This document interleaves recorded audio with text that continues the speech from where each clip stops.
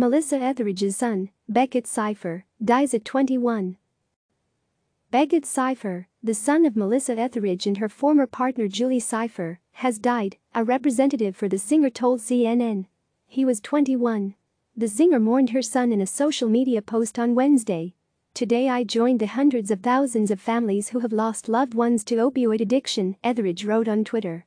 My son Beckett, who was just 21, struggled to overcome his addiction and finally succumbed to it today. He will be missed by those who loved him, his family and friends. She added, My heart is broken. Etheridge and Cypher, who have been separated for many years, also share a daughter, Bailey.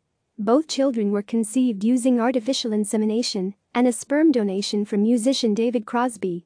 An earlier post to her social media accounts announced the postponement of the singer's popular and well-received concerts from home series.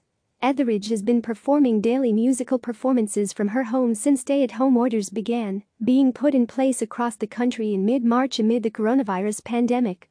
Her website lists 57 days worth of concerts, which have been broadcast nightly on Facebook Live. In her post, Etheridge assured, however, I will sing again, soon. It has always healed me. Etheridge also has twins with ex-partner Tammy Lynn Michaels, who gave birth in 2006. Etheridge is now married to television executive Linda Wallem. I am grateful for those who have reached out with condolences and I feel their love and sincere grief, Etheridge added in her post. We struggle with what else we could have done to save him, and in the end we know he is out of the pain now.